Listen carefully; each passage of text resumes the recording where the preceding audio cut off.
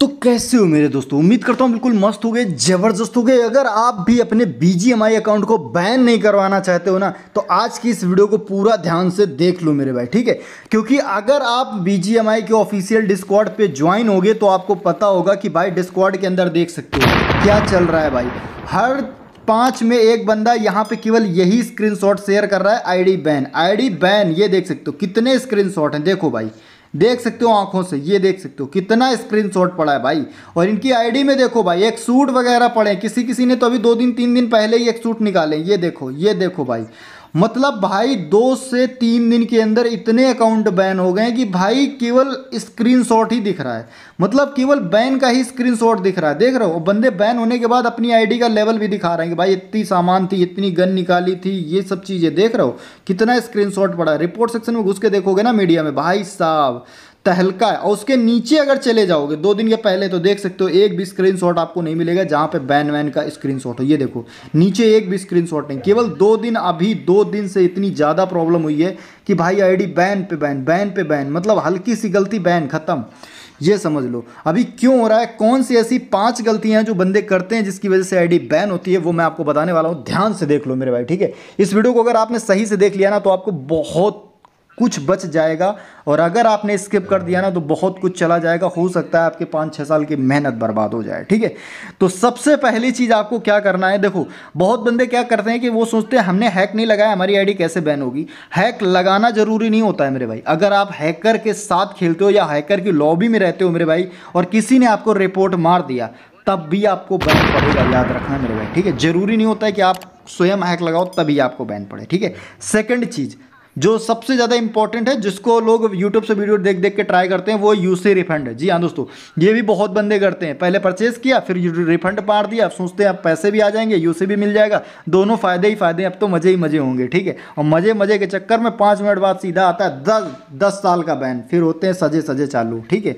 तो ये चीज़ नहीं करनी है मेरे भाई, ठीक है? ना ही आपको हैकर के साथ खेलना है, ना ही यूसी रिफंड करना है। तीसरी चीज़ लॉग इन लॉग आउट जी हाँ दोस्तों, अभी क्या हो रहा है कि सर्वर एरर वाला प्रॉब्लम जो चल रहा है, आपको पता है बीजीएमआई में जब से 3.4 का अपडेट आया है तो बहुत ज़्यादा ये प्रॉब्लम देखने को मिल रहा है सर्वर वाला, ठीक है? तो उसकी वजह से होता क्या है कि बंदे अपनी आईडी को लॉग आउट करते हैं, फिर दोबारा से लॉग इन करते हैं, फिर लॉग आउट करते हैं, फिर लॉग इन करते हैं, फिर गेम खेलना चालू करते हैं।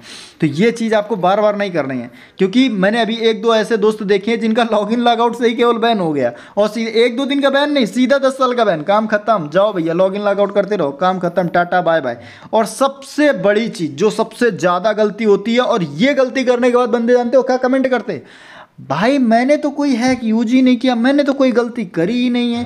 फिर भी आईडी बैन हो गई। तो ये चीज़ जो होती है, वो होती है दोस्तों ग्लिच जी हाँ दोस्तों, जिसको यूट्यूबर आपको बेचते हैं ट्रिक के नाम पे।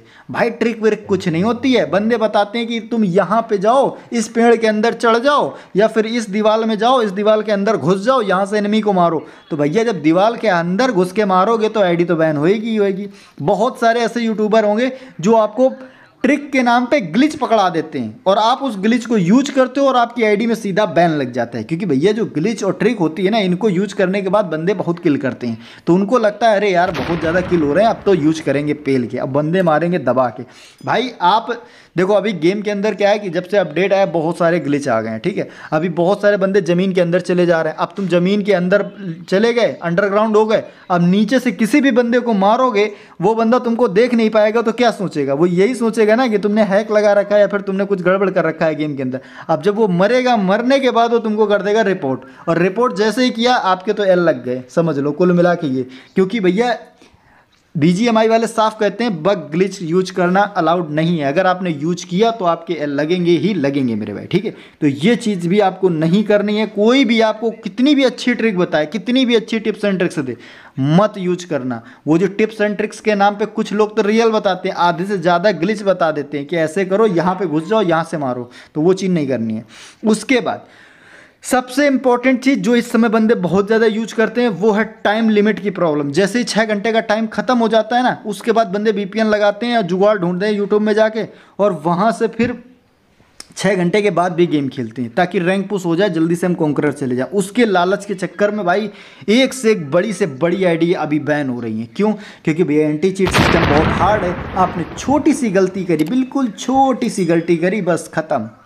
क्योंकि भाई जो बीपीएन होता है, वो थर्ड पार्टी ऐप होता है, ठीक है? अब जैसे ही आपने उसको लगाया तो थर्ड पार्टी का मैसेज वहाँ पे आएगा और सीधा खटाक से आपके आईडी पे 10 साल का बैन लगेगा। तो मतलब बिल्कुल झन्ना आ जाओगे, अरे भाई, ये क्या हो गया हाँ? तो दोस्तों, कुछ ऐसे भाई लोग होंगे जो ये बोलेंगे कि भाई, हमने ये पाँचों गलतियाँ नहीं करी हैं, फिर भी हमारी आईडी में बैन आ गया। तो दोस्तों, अभी हो क्या रहा है कि जब से 3.4 का अपडेट आया है, उसके बाद से अभी बहुत सारा गेम के अंदर प्रॉब्लम चल रहा है, जिसकी वजह से जो इनका एंटी चीट सिस्टम है, वो भी एक्टिवेट है। तो ये नहीं डिटेक्ट कर पा रहा है कि आप गलती किए हो या नहीं किए हो। अगर आपको ज़्यादा रिपोर्ट पड़ जाती है तो आपको बैन आ जाता है।